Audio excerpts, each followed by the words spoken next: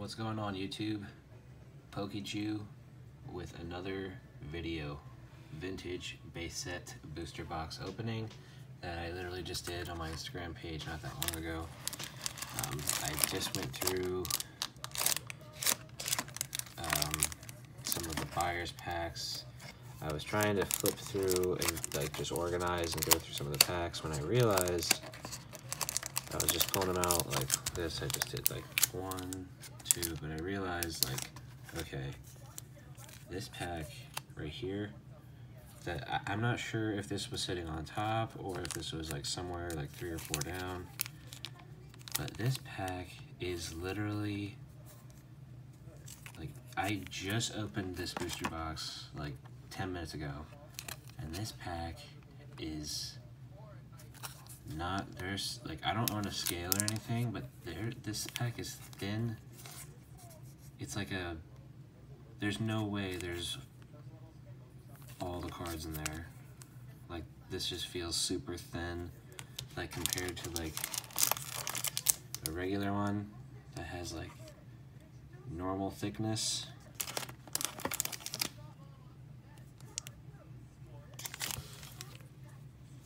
Look at this, like that is so thin.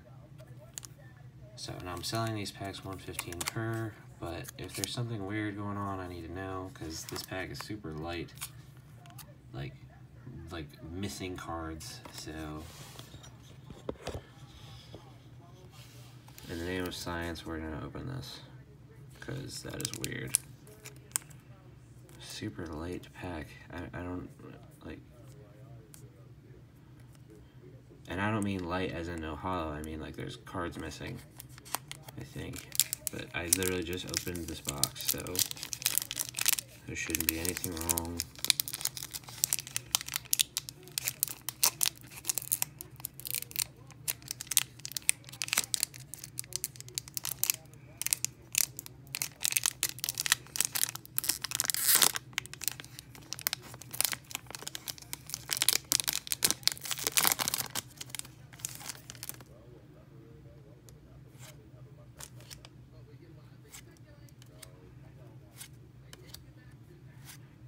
So it literally just had the commons in it.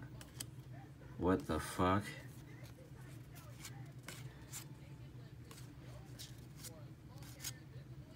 Um, okay. So that's interesting.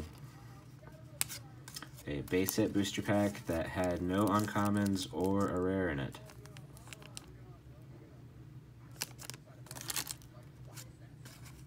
All the other packs feel fine. all the other packs feel normal. It was just that one. I'm going to go over the rest of these thoroughly and make sure. But, yeah. I literally just opened a pack that had nothing but that nothing but common cards in it. That's base set for you, I guess. Um, all right, well, that was interesting.